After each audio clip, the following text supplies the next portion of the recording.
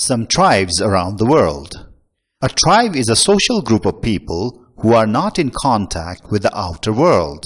They have their own culture and tradition. They have their own food, clothes, and other materials, and they do not ask for anything from anyone apart from their group. They have their own language too. Let's see some of these tribes today. Huli tribe. The Huli tribe is one of the largest tribes. They live in Papua New Guinea.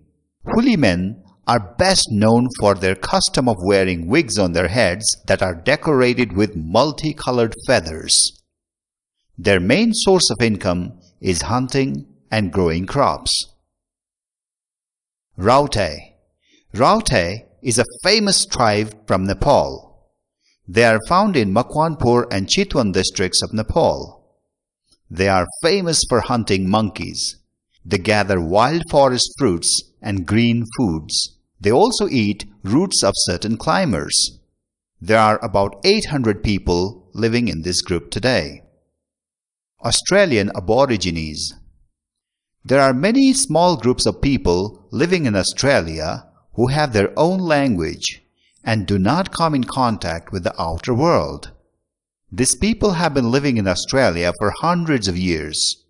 They have their own festivals and typical dances. They live in small huts. Inuit Inuit is a tribe found in places of North America such as Canada and the United States of America. These people are also popularly known as the Eskimos. They live in very cold and icy places. They build houses made of snow. Such houses are called igloos. Their main job is hunting and fishing. Karen Karen people are found to be living in the border of Thailand and Myanmar. They are similar to the Tibetan people.